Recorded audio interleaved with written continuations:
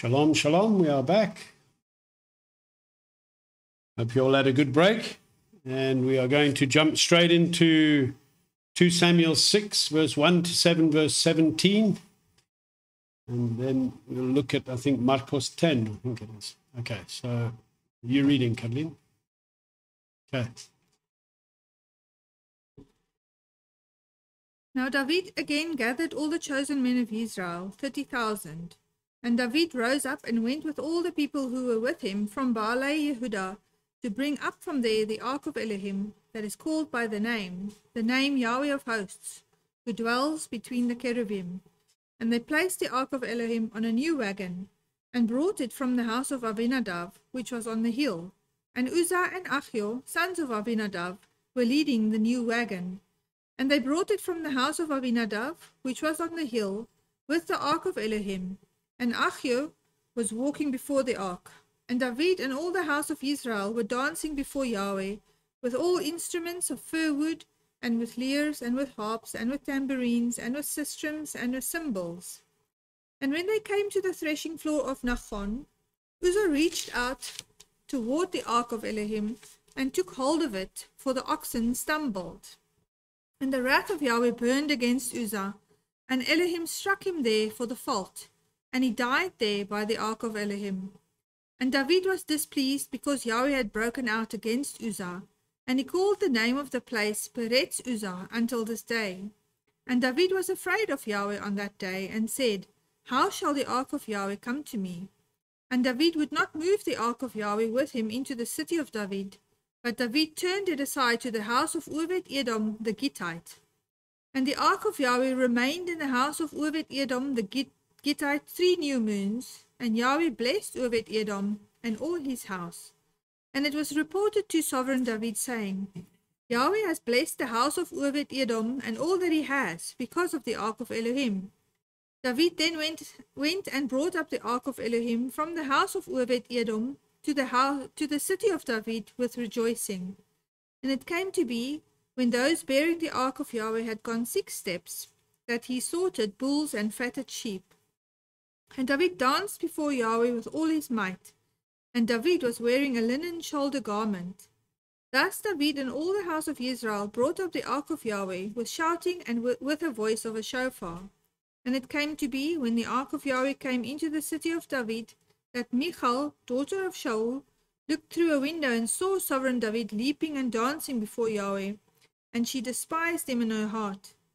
So they brought the ark of Yahweh in, and set it in its place in the midst of the tent that David had pitched for it. And David brought ascending offerings before Yahweh, and peace offerings. And when David had finished bringing ascending offerings and peace offerings, he blessed the people in the name of Yahweh of hosts.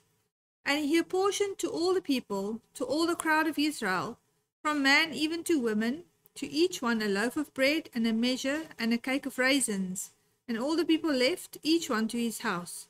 And David returned to bless his household. And Michal, the daughter of Shaul, came out to meet David and said, How esteemed was the sovereign of Israel today, uncovering himself today in the eyes of the female servants of his servants, as one of the foolish ones, shamelessly un uncovering himself. So David said to Michal, Before Yahweh, who chose me instead of your father and all his house, commanded me to be ruler over the people of Yahweh, over Israel, so I danced before Yahweh. And I shall be even more slight than this, and shall be humble in my own eyes. But as for the female servants of whom you have spoken, by them I am esteemed. And Michal, the daughter of Shaul, had no children to the day of her death.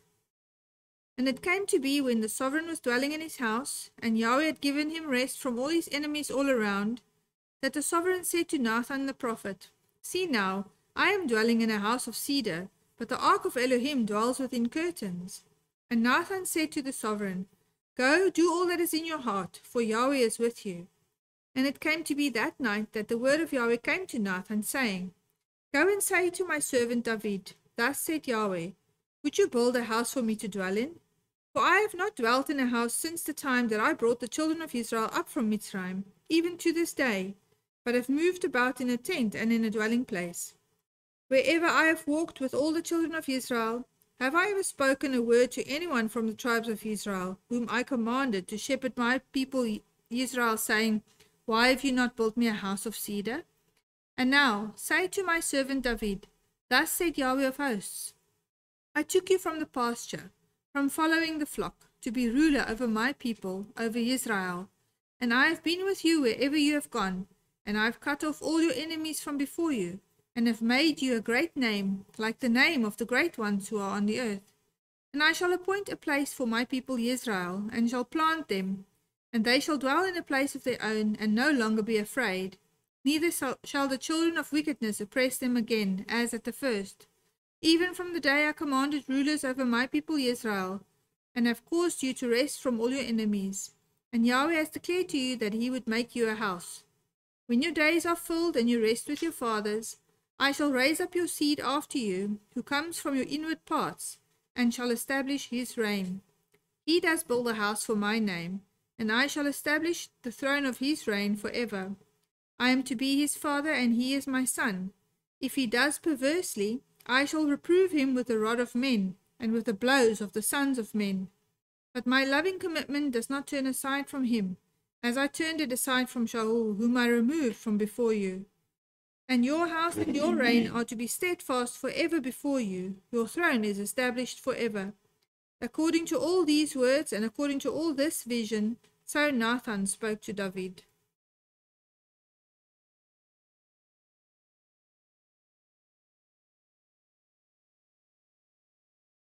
Okay, so here we're looking at this passage of uh, bringing back the ark of Yahweh. And Renee saying, Didn't we read this recently? I remember commenting on the steps and how much they must have slaughtered. yeah, we did read an account of this. And uh, it's good that you bring it to remembrance, but we're reading it in today's portion as part of a clear lesson on what not to do as and what to do. And what we see here, um, you can also read about this or these events in 1 Chronicles 13, but in order to understand where this section starts with David saying, Let's go and get the ark, we have to understand the history in order to see what a big occasion this was and some of the mistakes that David had made, and then a proper order brought about to bring Yahweh's presence and the promise that Yahweh would give to David for his son Shlomo if he would walk in his ways. And so many years before, Israel were encamped at Even, Even Haezer or Ebenezer uh, in battle against the Philistines, and they lost about 40,000 or 4,000 men, sorry, in battle. So they'd lost quite a lot of guys, and the elders cried out, and the Ark of the Covenant of Yahweh was brought up into the midst of the camp of the army. And they started raising a great shout and a great shout. And the Philistines thought, gee whiz, there's a great shout. What are we going to do? Because the ark of Yahweh has come into their camp. How are we going to survive? And the Philistines strengthened themselves and they said, don't worry, we'll still go out and, and get them. And they actually destroyed Israel that day. And this was the day that Hophni's sons were put to death in battle. Uh, um, not Hophni, um, Eli's sons, Hophni and Pinchas, were put to death. We mentioned that because they were the ones that were doing corrupt service at the door of the, the tent of meeting and they, they were just whoring with uh, uh, the ladies that would come there, etc. And they were just, it was corrupt. And when news came back from the, the battle that the Ark of Yahweh had been stolen uh, and Hophni and Pinchas were dead, Eli fell off his chair backwards and broke his neck. I mean, he was an old man. And his daughter in law, when she heard that uh, uh, the ark had been stolen and her, her husband was taken and, uh, and Eli is also dead, she went into labor and gave premature birth to a son which she called Ichavot, which means the esteem of Yahweh departs. So we see all of this happening here, and it was a, a terrible time. And, and the ark of Yahweh went into Philistine captivity for about seven months. And it first went, uh, it went from one place to the next. And what the, the Philistines did, they first set it up in there next to Baal. And when they came in the morning, they saw that their statue of Baal had fallen over. And so they picked Baal up and put him back on his place. The next morning came back, and not only has he fallen over, but his head was chopped off and his hands were chopped off. So they thought, This is terrible. Yahweh is destroying us. And so they said, We can't have the ark here. So they moved it from city to city. They just said, Let it go out of here. And, and Yahweh plagued the Philistines with tumors. And so they got together and they said, Listen, Yahweh's destroying us.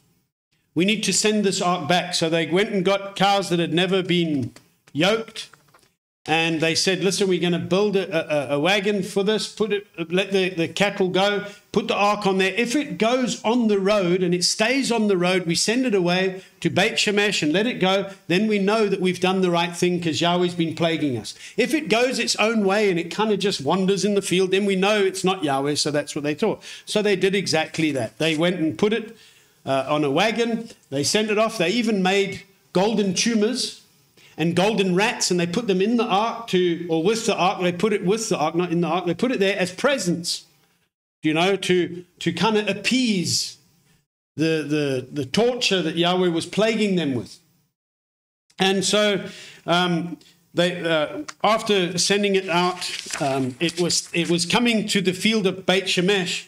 And when the, when the people saw the ark, the, well, these cows coming with the ark of Yahweh on it, they, they started celebrating that the Ark of Yahweh is coming back. It was like seven months or so. Then they took the Ark off. They used the cart. They slaughtered the animals and they offered an offering to Yahweh and they were praising. Some of the men opened the Ark and looked in and were put to death. And so they set the Ark aside to the house of Avinadav, where it remained for about 40 years. And it was during this time that King Shaul was reigning. And not once did King Shaul consider getting the ark of Yahweh back. Because he, he's a picture, a clear picture of not one chosen by Yahweh, that he was all in it for himself, etc. And it was only after uh, uh, King Shaul had died and David had been brought back and set up as sovereign that we come to this account where David says we must bring the ark of Yahweh back. And he pitched a tent for it. He set up a whole service around the ark, which we see in the book of Acts, where we're told that Yahweh will restore the booth of David. Now, what that's a replication of is the right way to worship. He instituted a worship service round the clock, 24 divisions that would worship Yahweh in this booth that he had made, continually worshipping as a reflection of what is in the heavens when the cherubim are constantly declaring, set apart, set apart, set apart, Yahweh El Shaddai or Yahweh of hosts. And so this is the booth of David that's being referred to in Acts. It's a proper restoration of the pure worship that's in complete set apartness. It's not mixed, it's not strange fire, it's complete, it's set apart, it's how we draw near to Yahweh.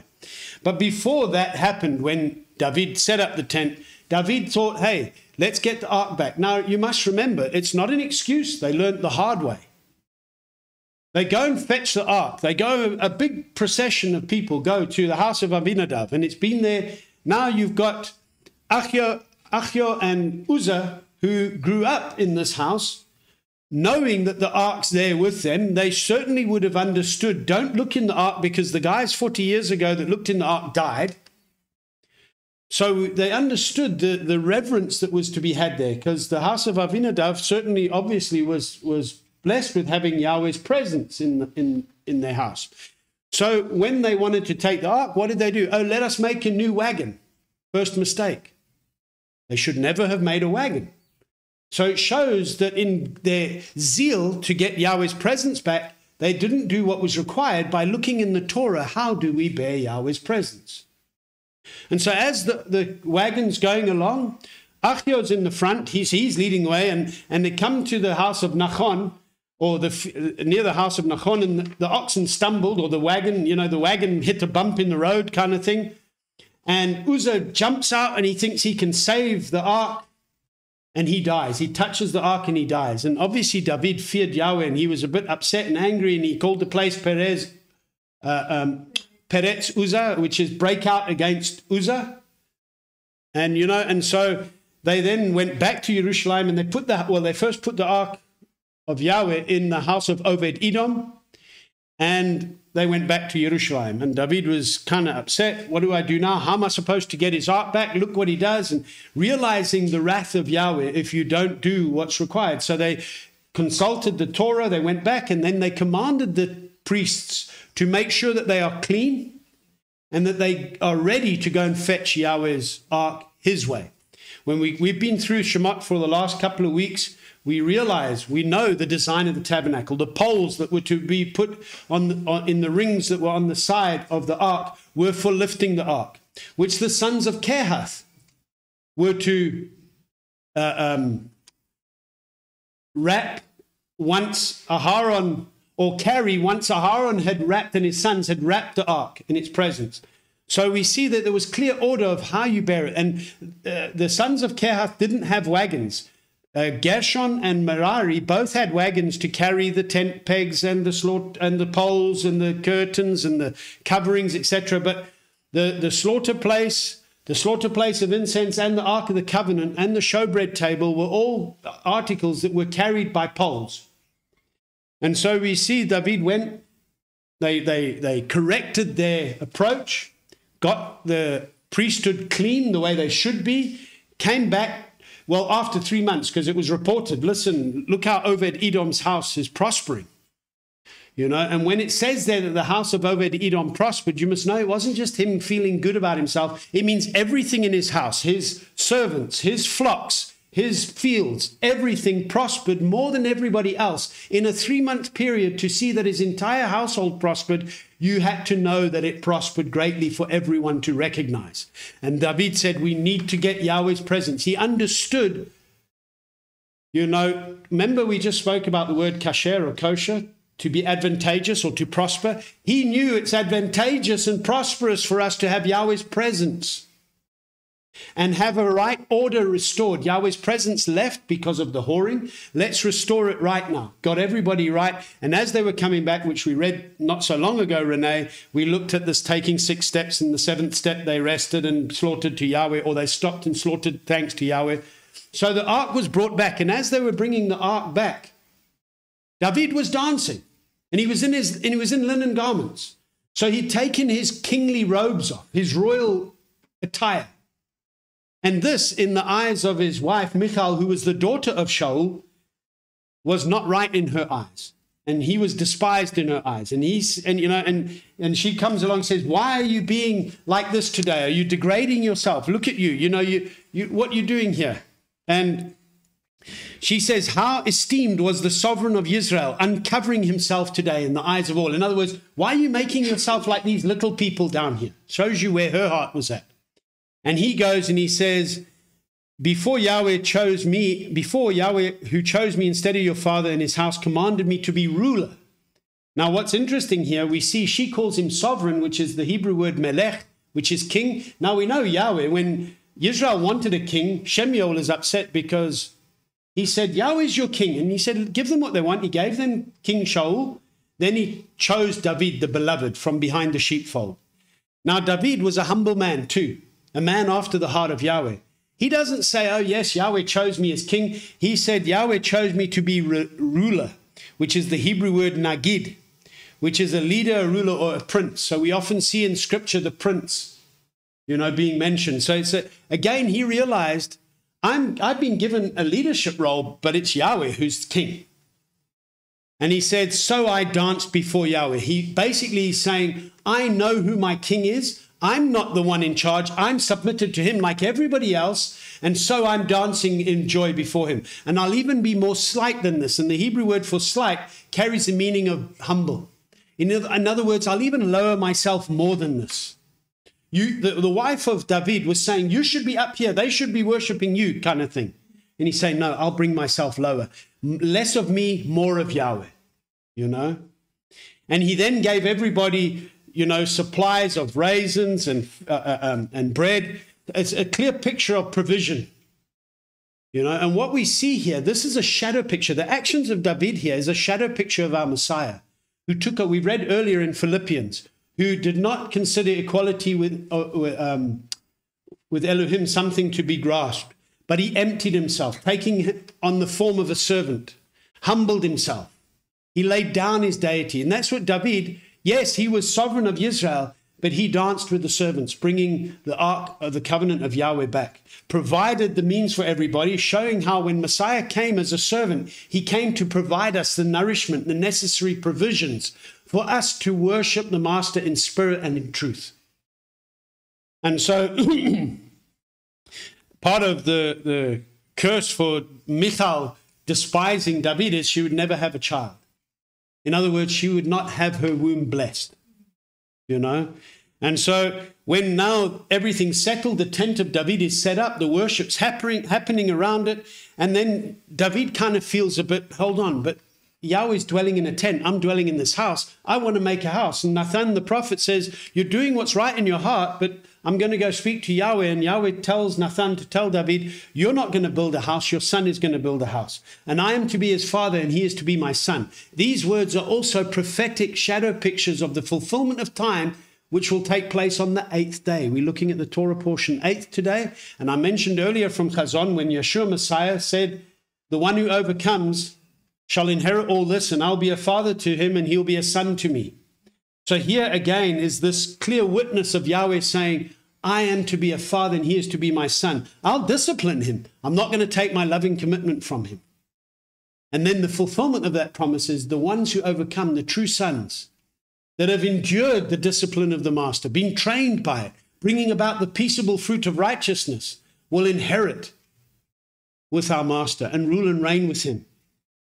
And we'll be sons and daughters of the Most High. And that's a shadow picture. As we look at this, we see so many things taking place. When David and, and all the house of Israel brought up the ark of Yahweh with shouting, that Hebrew word for shouting and with the voice of a shofar is teruah.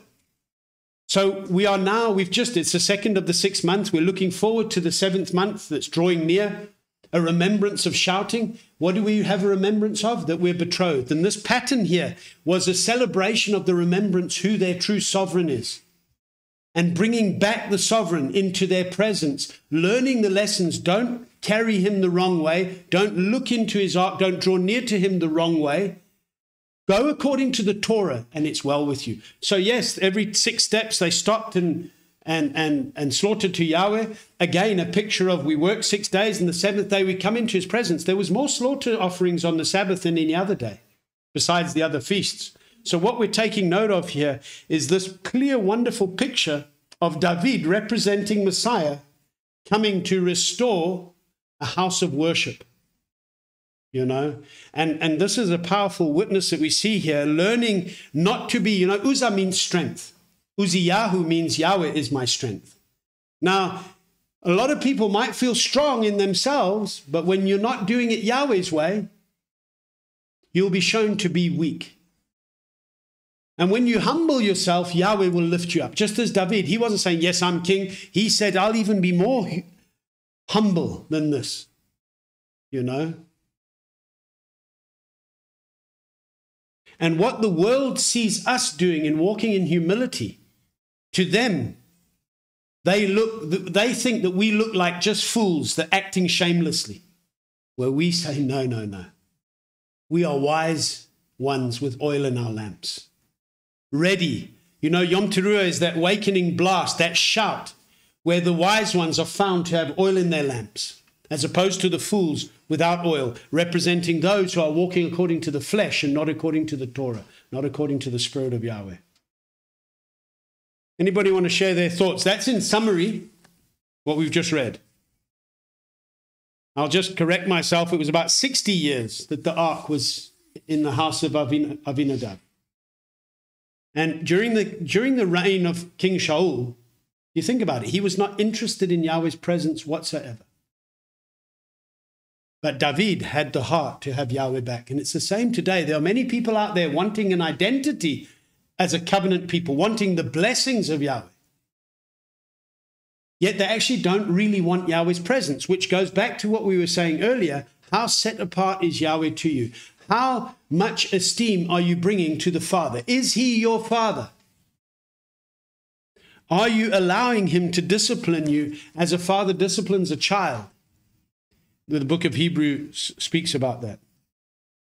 You know, when we look at these events, there were two main compromises that caused the death of Uzzah. Firstly, it was a failure to transport the ark correctly.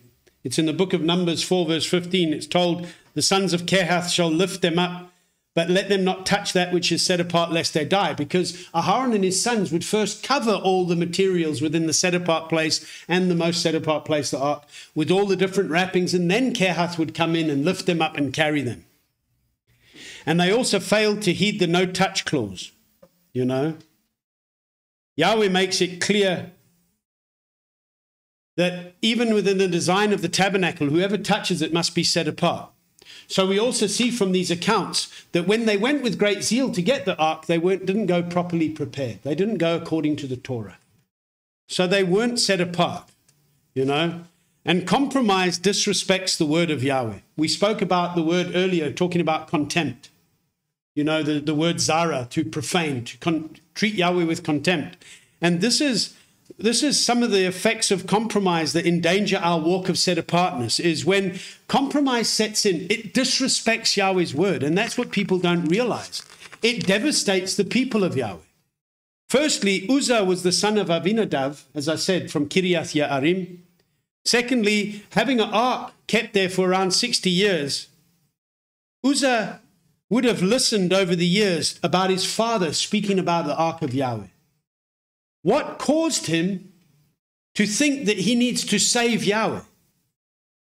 Because the ark represented Yahweh's presence, you know? Maybe they were just so puffed up, they got the big move. They got the, you go ahead, you go in the front. It started out wrong. It should never have been on a wagon. That's the first mistake. And so down the line, we can find the consequences of initial mistakes causing further mistakes. And then people want to ask the question when those further mistakes are dealt with, why is this happening to me when it didn't start out right in the first place? And compromise deflects the blessing of Yahweh. So no longer was the blessing going to come into Jerusalem or sit with the house of Avinadav because, you know, his son's now dead. It now goes to Obed Edom. So when you're carrying Yahweh's presence incorrectly, his presence leaves you and it will go on the shoulders of the ones who are going to carry him correctly. You know? So David did a number of things wrong. Firstly, he consulted the leaders and the whole assembly while never actually approaching Yahweh on bringing back the ark. Yehoshua did the same thing before when having a covenant meal with the Gibeonites before seeking Yahweh, who he thought these people were from afar. Teaches us a valuable lesson when our master says, Seek first his kingdom and his righteousness. That means you seek Yahweh first. Now, there's counsel in the wisdom of many, but if Yahweh is not being head of that seeking process, then you are opening the door for compromise to come in. And David ended up doing what was right in the eyes of people. You, look, if Yahweh's not the one that's being sought first amongst a group of people seeking, and you just get together and you try and think, oh, what's the best way without seeking Yahweh, believe you me, you'll end up doing what's right in the eyes of people without consulting. Is this right in Yahweh's eyes? You know? And he copied the way of the Philistines. So when you do what's right in your own eyes, you'll end up doing what the world does. We've said many times there are many things in this world that are deemed to be acceptable and okay, but in Yahweh's eyes, it's not. And so we can't follow the patterns of the world to try and retain Yahweh's presence when their pattern clearly is abominable in Yahweh's eyes. So the clear lesson that we have here today is stop following falsehood, you know. David allowed Uzzah and Achio to drive the presence of Yahweh.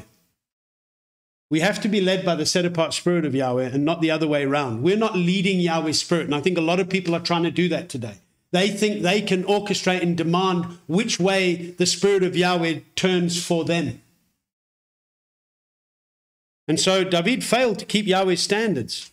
It was the Levites who were supposed to be the musicians, and here the assembly were playing the instruments. So again, proper order and structure was not in place. It sounds harsh, but that was the standard. And we need to be reminded and made aware of the fact that we are a set apart nation, a royal priesthood, a treasured possession. And in the order of Melchizedek, yes, we all have the ability in our master to play instruments and make music, but there's still order that must be adhered to and properly followed. As a proper submission to the leadership that those he appoints over the body to listen. It won't go well with you, Hebrews 13 says, when you don't listen to those that are appointed over you to direct your steps according to the word. But what happens is people think they can carry Yahweh's presence, expect his blessings, but they're listening to the world. And they're seeking first the world and its ways. David allowed flesh to touch the presence of Yahweh. We are to worship Yahweh in spirit and truth. We don't worship Him the way it feels good to us for the moment and how we think we can orchestrate that. You know, if only David had, you know, he feared Yahweh when Uzzah got struck. If only he had feared him before all of this happened, before they even left the house of Avinadab, you know. So here was a man like us that learned some valuable lessons. And I'm sure many of us can uh, uh, uh, recognize certain areas in our lives where we have allowed compromise to the standards of the word. And I'm not saying it's okay, it's definitely not okay. We all deserve to be struck down like Uzzah was struck down when we think we're strong and mighty. You know, that's why Shaul says, When I'm weak, I am strong. Because when I let less of myself and I die to self and put my things to death, so that Messiah can be that which strengthens me, my purpose, my life, and everything is for Him.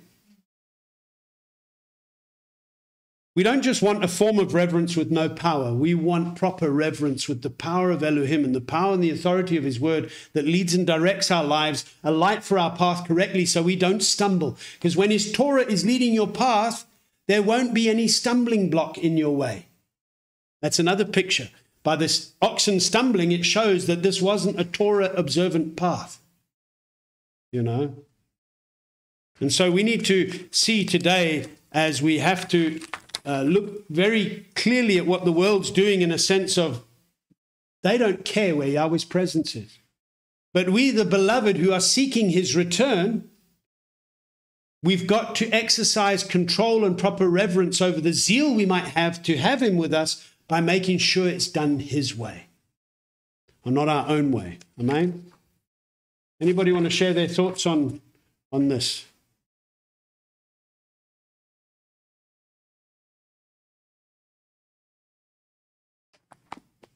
It's a valuable passage of scripture which ties in nicely with the strange fire that, Uzzah, uh, that um, Nadav and Avihu brought, you know.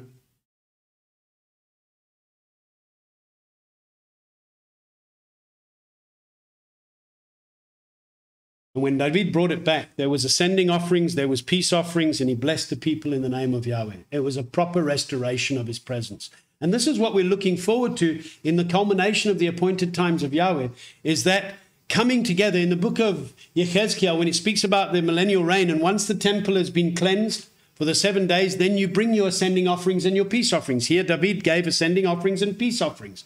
It's a clear witness of the proper worship of Yahweh being established firmly here on earth. That's what we're looking forward to. Now we can either be struck down by Uzzah, like Uzzah, not by Uzzah, like Uzzah, because we think we can handle Yahweh's word any which way we want and not take the responsibility of carrying, bearing his presence correctly on our shoulders, lifting him up the way we should, and get struck down, or we adhere to his standard of his word, bear one another's burden so as to complete the Torah of Messiah. We carry his presence correctly and with great joy in walking in humility that is a strength, it's not a weakness, with great rejoicing heart, having a proper worship restored, not being afraid of what others might think when they see our obedience. Do you think David was fazed by what his wife had to say in disgust of his so called worship? Let them by observing your good works. Praise Elohim in the day of his visitation, because everyone will acknowledge that he is Savior and King. Did you want to share That's something? how he said, I didn't, I'm not dancing before them, I'm dancing Before Yahweh. He Yes. Yes, It's not about those around yes. I'm like one of them. I'm just like one of them. From Yahweh's viewpoint, he is just one. Yes, yeah. And David understood that. Yeah. But it took an incident for David to understand. I mean, David is one that followed after Yahweh, but he had to, this brought him even further. Even in his role of king that he was now being established in, he had to realize too, he is still a servant of Yahweh. You know? And that's when you can display the biggest strength.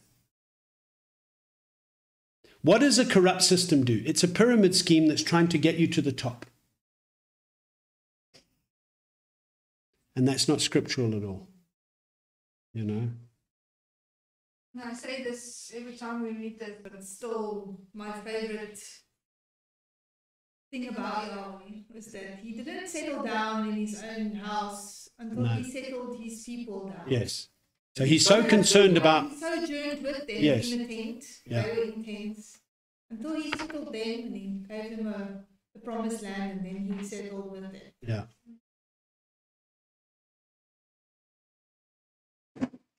Okay, who'd like to read Mark 7? Marcos 7. Last last week we read from 28 onwards, I think. So now we're reading Marcos 7, 1 to 23.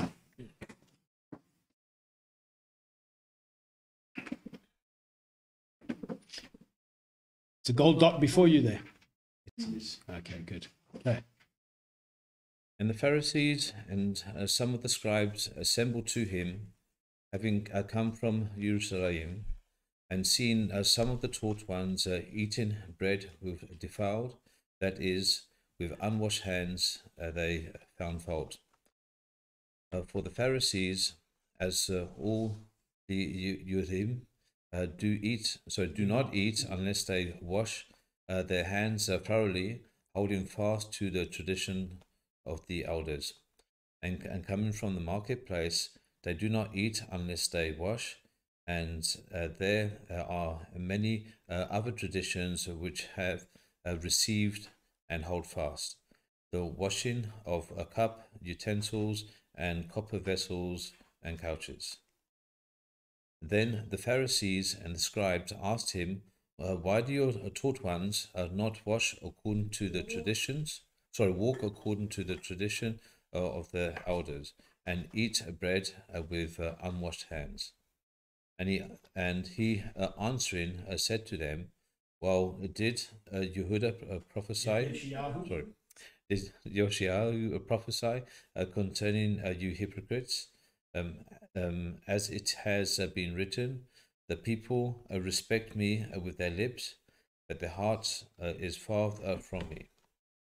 And in vain uh, do they worship me, uh, teaching and teachings of commands of men. Forsaking the, the command of Elohim, you hold fast uh, to the tradition of men. And he said to them, Well, uh, do you uh, set aside the command of Elohim in order to guard your tradition? For Moshe said, Respect your father and your mother. And um, he who curses uh, your curses father or mother, let him be uh, put to death. But uh, you say, if a man uh, says uh, to his father or mother, uh, whatever profit uh, you might have received from me um, is korban, you no longer let him do any matter at all for his father or his mother. Nullify the word of Elohim through your tr- tradition, which uh, you have uh, handed down, and many such uh, traditions uh, you do. And uh, calling the crowd to him, he said to them, Hear me, uh, and everyone, and understand. There is no matter that enters a there is no matter that enters a man from outside which is able to defile him, but it is what comes out of him uh, that defiles the man. If anyone has uh, ears to hear, uh, let him hear. And when he uh, went from the crowd into the house, his taught ones uh, asked him concerning uh, the parable. And he said to them, Are you also without understanding? Do you not uh, perceive that whatever enters a man uh, from outside is unable to defile him, uh, because it does not uh, enter his heart, uh, but his stomach, and uh, is eliminated, thus purged all, all the food. And he said, uh, What comes out of a man uh, that defiles a man? Uh, for from within, um, out of the heart of men, proceed uh, evil reasons, adult, uh, adulteresses, uh, whoring, murder, theft, greedy desires, wickedness, deceit, uh, indecency, and evil eye, blasphemy, pride, uh, foolish, uh, foolishness. All these wicked matters uh, come from within and defile a man.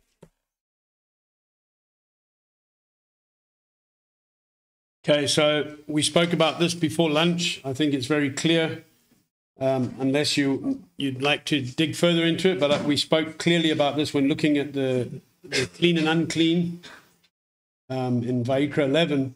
Just touching on what we didn't touch on is Yeshua then said to him, You've got many such traditions. One is it says, the word says, respect your father and your mother, and he who curses father or mother, let him be put to death. And he says, But you say, in other words, you contrary to the word this is what you say the word says this but this is what you do this is one of and he says and you have many such traditions the traditions are nullifying the word and what he says is if a man says to his father or mother whatever profit you might have received from me is korban that is a gift you no longer let him do any matter at all for his father or mother nullifying the word of elohim through your tradition in other words, what they're saying is korban, which we know, so they try and use spiritual words or scriptural words Korban, which is to draw near, which is what all the sacrifices are about, or it means uh, uh, insert that which draws near as a gift to Yahweh. So they wanted to relinquish. If somebody had something and they see, they need to take care of their parents. And it's like, remember, it's always in the context of Torah observance. Now they say, yeah, no, I'm, I got to give weight to my mother and father, and I've got to, you know, see to them and make sure they're okay. But now, what I've got to help them with, actually, it's a, it's something that's set aside for another purpose. It's you know, it's it's it's it's a gift that I can't. So I can't take of that. So you don't actually do what's required as a faithful, dutiful son. You know, in the context of Torah observance, it's always with that. So this is what they were doing. So then they said, okay, if you say something's korban, you then have to, you're basically releasing yourself from the right to respect your father and mother and do what needs to be done to them within the Torah observance framework. And that's what Yeshua is saying. You've got these commands, this is what it says, but this is what you're doing. And you're doing it because of the traditions that have been handed down by the elders. In other words, it wasn't this is the first generation. This is something that's come down, and it's the same thing today. People are doing certain things because, well, that's the way it was always done. and not stopping to think, but why am I doing this? Most of us are sitting in the position we're in today, serving our master, because we began to ask the question, why am I doing this when they are doing, why, why are we doing this when the word says that? Where did the but we do this come in? And that is what people are doing, not just with what is food and not is what is not food. It's just what is obedience and what's not obedience. You know? So when people are feeding the flesh, they'll construct a tradition and they'll that tradition will become a teaching of men that is taught as commands. Nullifying the word of Elohim by their commands and their false teachings. So I think it's very clear we discussed earlier what's clean and what happens to food when it goes in your stomach. And we have to be on guard against letting the Torah is to be on our heart. And what should be coming out of our beings is that which is befitting for a set apart follower of Messiah. It should be clean and not defiled things. What defiles us is not what goes in by natural food, it's what comes out of us because basically what you're setting your eyes on. What are you allowing into your heart? What are you allowing into your inner being to shape your thoughts, to shape your way you, you, you meditate, to shape the way you think on things? Because if you're allowing junk and lies and corruption of this and that that's not according to the word to be implanted in you, that's what's going to come out and defile you and render you unclean and defiled before the master. Any thoughts before we get to Acts 10? Something You have to come closer. Speaking to, yes, we, you, you come sit next to Henry. There we go. Uh, something that uh, Just come. So I know I'm going to ask twice, but I'd like the people online to hear too. considered uh, wise, wise one. Now, I was just thinking when you were saying about um, the elders, and it, if you look at the the traditions in the world, is pretty much following the elders, Yes. so to speak. And I, the, passage that came to mind, where Yahweh said, um, "You know, you're following your elders, and you're making a mockery of my words, and and and you know what I instruct you to do, you mock." and you're not doing what I'm instructing you to do. You you you're following the people. And it, it kind of brings full circle, you know, with my experience as well, is that there is literally everything that they will expand to you, even using the scriptures, it is in justification of the elders, you know, what they interpret as their truth, you know. Um, so uh, it's, it's, it's amazing how, how, how it how simple it is, but yet we make it complicated because we're following the elders. You know, we think the the ones that's been before us should know better, and, and in actual mm. fact, they don't. No. They they lead leading us off the edge, so to speak. Yeah, no, it's it's a dangerous path. Because that's where that's why Yirmiyahu 16 says, "In the last days, the nations will come and say, Our fathers inherited falsehood, futility. There's no worth in it." And we're coming to the stage as we're drawing near to His return, where we are saying, we started asking the question, "Why are we doing?" It's not it's not a bad thing to ask, "Why are we doing this way. In fact, it's scriptural because when you have the Pesach meal, it says, and when your child asks you in time to come, why are we observing it this way? And you will tell them. So if the, the problem is when people stopped asking, why are we doing this? That's when the bondage of falsehood takes its grip. You know? Who'd like to read Acts 10?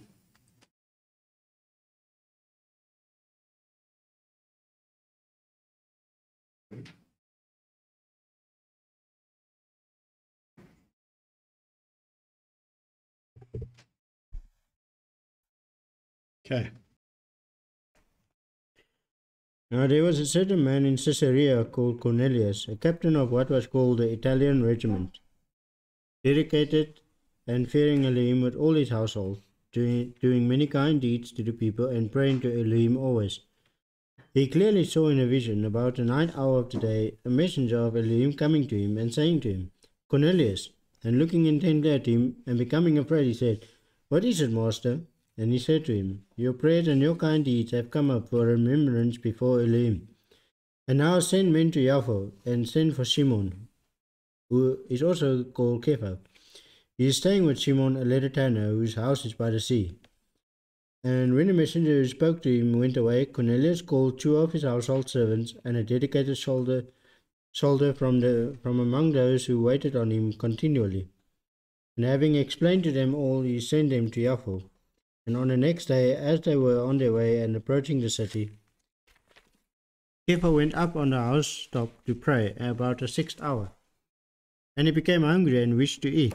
But while they were preparing, he fell into a trance, and he saw the heaven opened, and a certain vessel like a great sheet, bound at the four corners, descending to him and laid down to earth, to the earth, in which were all kinds of four-footed beasts of the earth, and wild beasts, and creeping creatures, and the birds of the heaven.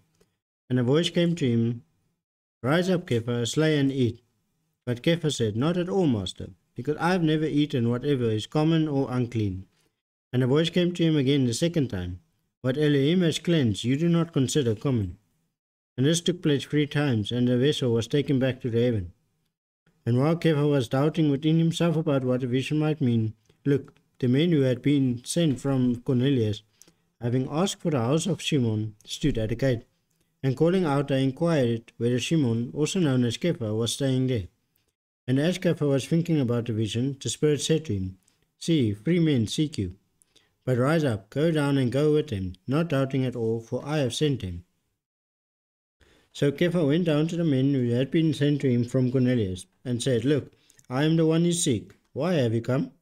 And they said, Cornelius the captain, a righteous man and one who fears Elohim, and well spoken of by the entire nation of the Yehudim, was instructed by a set apart messenger to send for you to his house, and to hear words from you. So inviting them in, he housed them. And on the next day, Kepha went away with him, and some brothers from Yaffo went with him. And the following day they entered into Caesarea, and Cornelius was waiting for them, having called together his relatives and close friends. And it came to be that when Kepha entered, Cornelius met him and fell down at his feet and bowed before him. But Kepha raised him up, saying, Stand up, I myself am also a man. And talking with him, he went in and found many who had, who had come together. And he said to them, You know that a Yehudi man is not allowed to associate with or go to one of another race. But Elohim has shown me that I should not call any man common or unclean. That is why I came without hesitation when I was sent for. So I ask, Why have you sent for me? And Cornelius said, Four days ago I was fasting until this hour.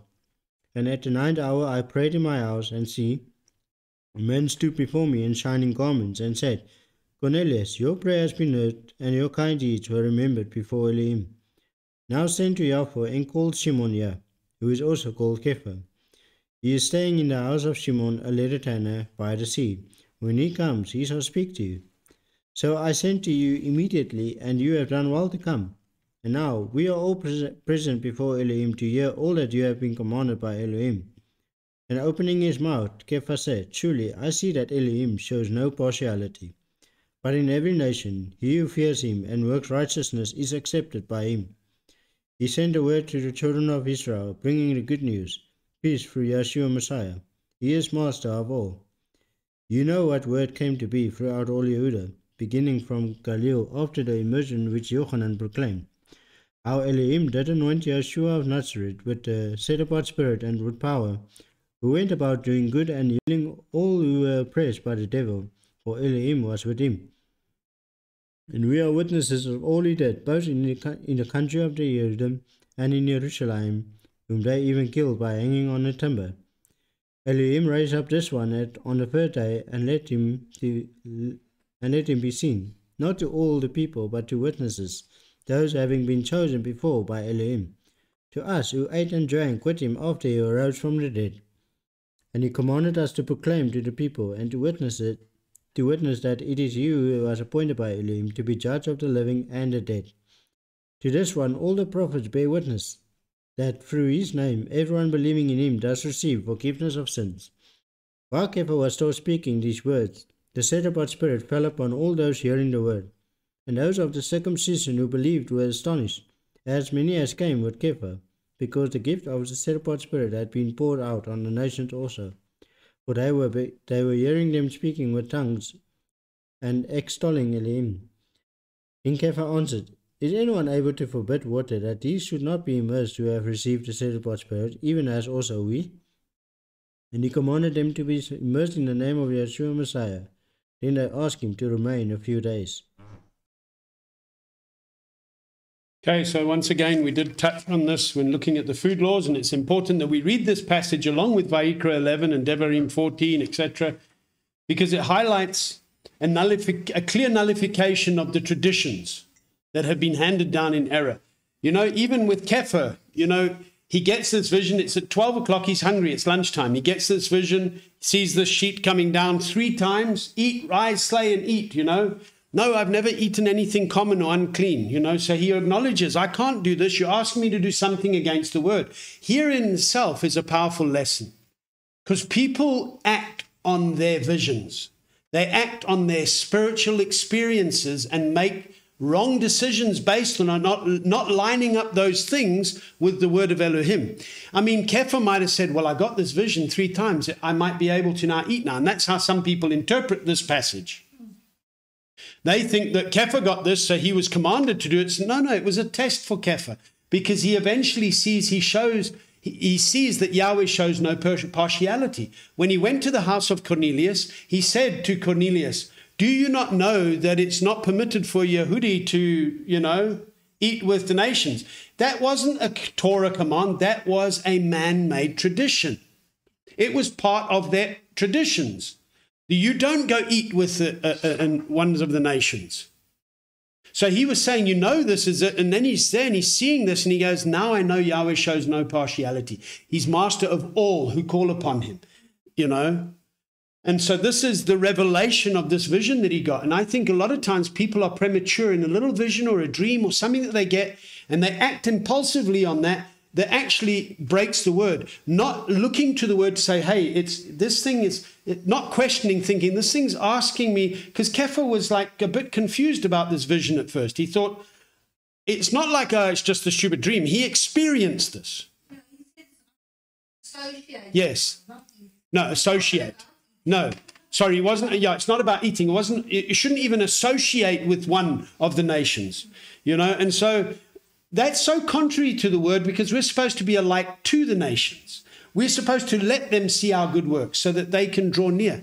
Now, he's a bit confused, but he doesn't act on it and think, okay, well, whatever. And a lot of people do that. They might get a dream or a vision. They say, you know, I think Yahweh's speaking to me because this is the, and they get and they put on that spiritual voice, you know, when they talk to you, you know, because now it's like, but then when I, I've often heard something and I think, mm, that doesn't sound right in scripture. I can't deny you had an experience, but it doesn't make it right. It might be there to teach you something or it's leading to something else to show you an interpretation that you don't understand right now. Kepha didn't understand. He, all he understood is it's lunchtime, I'm hungry, I got this vision, and I don't eat what's unclean. And it cannot mean that. That's why I'm confused and perplexed. Then the Spirit said, No, there's three men coming to see you. Go with them. So we also see there's so many lessons in here with the three times a year, etc. And it's also a clear witness and a pattern of he was constantly thinking about this vision. He wasn't going out now heralding to everybody, hey, you can eat whatever you want now. Okay? And he says, but what he did when he heard the Spirit say he knew the voice of Yahweh, and the Spirit said, Go with these men. He didn't hesitate because he's now doubting. He says, Not doubting at all because I have sent them. Go with them because I've sent them. You know? So when he goes, and Cornelius is a captain, he's a leader among the nations, but he humbles himself with Kepha, and Kepha says, Hey, I'm just a man like you. So this was huge for Kepha. This was also a lesson for Kepha. Because he does say, you know, I mean, he maybe also went thinking, gee whiz, what the others going to think I'm going here? Because he also makes it clear to them, you know, we're not supposed to associate with each other. Just check the doors and the windows. Are you okay? You know, you know, that kind of thing. Because Shaul also addressed Kepha in that regard in time. So I think there was a bit of this unsureness, but Yahweh had to also deal with Kepha here to show him that Yahweh has come for the nation, you know. And when he saw the Spirit upon them, he does an important thing. Okay, so they had the Spirit. He commands that they get immersed in the name of Yeshua Messiah. You know, it's a clear witness what took place at Shavuot. Repent and be immersed in the name of Yeshua Messiah for the forgiveness of sins, and you will receive the gift of the set apart Spirit. People often think, well, if I've got the gift of the set apart Spirit, I don't need to be immersed. No, you still need to be immersed. So he commanded that that whole household got immersed. So, this whole chapter has nothing to do with the changing of food laws. It has to do with the good news Yeshua Messiah is for anyone who will call upon his name, no matter how unclean they have been, because he came to clean. And we do not call common or unclean what Yahweh separates and cleanses. It's got nothing to do with what you eat, it's got to do with people. Amen? And I love this. In every nation, he who fears him and works righteousness is accepted by him. How awesome is that? And you know, we talked about traditions of elders, we brought up in different cultures, even this country itself. Primarily, a lot of religious debate has been brought up over separation of peoples, they're not of him. Where they're not reading what Acts 10 says. In every nation, if a people fear him and work righteousness, which is to obey, then they are accepted by Yahweh. Who are you to reject somebody that's obeying Yahweh's word? Um, he was just Italian.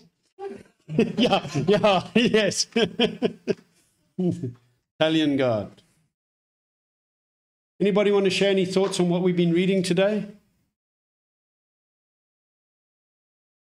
I know that we're going to um, or for those that are still uh, online with us, we're going to do a Zoom meeting. Um, if uh, you didn't get the invitation to the Zoom meeting and you'd like to join in in half an hour, we're going to do it. We said at half past three. Um, you can contact me. I'm putting my details on the screen. You can contact me by WhatsApp and I'll send you the link. We're just going to have a short Zoom meeting for any question and answer or any questions that you may have, and we'll try and answer them. Um, of the word, yes, we're, we're, we're talking word here, you know.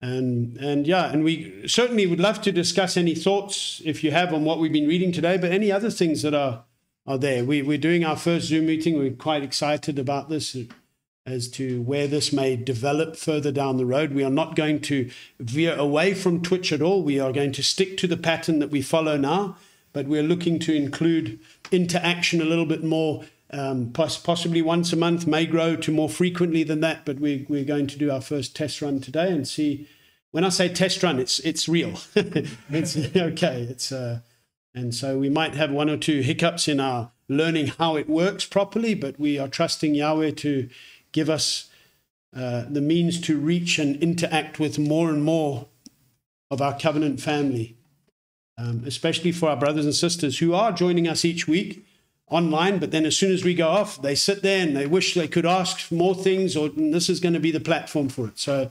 Um, you want to join, please get ready to do so, and and, and uh, we'll we'll be with you on Twitch, not on Twitch, on Zoom, in half an hour. So unless anybody would like to share anything before we close, anybody online would like to share anything before we close, I'll give a moment. Otherwise, we're going to pray and then get set up for our Zoom session shortly. I was just thinking it, it was quite, quite a sort of a curve in because the vision appeared to him three times and there was three unclean men that came to fetch him. Yes. Well, three men, not unclean men, but in his eyes, unclean men. Yes. Yeah. Because it's, it's, it's kind of interesting, like, you know, most folks will have a vision and they'll have a vision once Yeah. and they'll act on it and, you know, go with him way and do whatever. But in his case, he had the same vision three times, and there were then three men calling on him. Uh, and not like in some of the other scriptures where there's one or two men that get sent out, you know, to either call on somebody or collect somebody. Yes. This time there's three men that came. Yeah. And what we also see in the text is that those three men, he didn't just go immediately, he, they stayed overnight. So they would have had discussions. They would have talked through the night. They would have discussed what's going on and shared things. So when he went there, he kind of went saying, Okay, I, I see that here's an Elohim fearing man that's not a Yehudi. This is like, what does this mean? This, this, this is a, well, in our, our terminology, this is front page news. Yeah. And it was a big, big challenge for Kepha and a, and a, and a, and a wonderful revelation for him to show that the good news of Yahweh is not limited. front page news. Yeah. That's the news that we ought to be proclaiming, you know? Okay, let's pray. Master Yahweh, we bless and praise your wondrous name. We thank you that you've given us such wonderful insight into your word. You show us wonders from your word, and we continue to see your presence, your joy in us. And we thank you that we, we can sit here and being immersed in your word and just seeing new things coming out more and more, and even the old things that are just being renewed in us. I pray that you continue to stir in us the life that's in your word so that we can fan into flame that good deposit, not let the fire go out, and keep our fire from being strange. We bless you and praise you, and we thank you that we have an eighth to look forward to. And may we guard our lamps with oil in it, walking according to your truth, so that when you do come to fetch us, we may be found to be dressed and ready, burning bright, welcomed into your presence to praise you and esteem you in the name of Yeshua our Messiah. Master Yahweh, we thank you for your blessing of good health and your provision over us. We also pray now as we connect over Zoom that you would bless the interaction that we can have as a body together. And for our brothers and sisters that are far and wide watching these recordings later, I also pray you bless each home where your word can be shared as we continue to serve you and honor you in everything that we say and do. In the name of Yahushua, our Messiah. Amen and amen.